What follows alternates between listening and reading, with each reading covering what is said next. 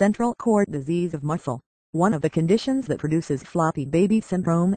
Central core disease of muscle causes hypotonia low muscle tone in a newborn baby, slowly progressive muscle weakness, and muscle cramps after exercise. Muscle biopsy shows a key diagnostic finding of absent mitochondria in the center of many muscle fibers. It is caused by an abnormal gene on chromosome 19 involving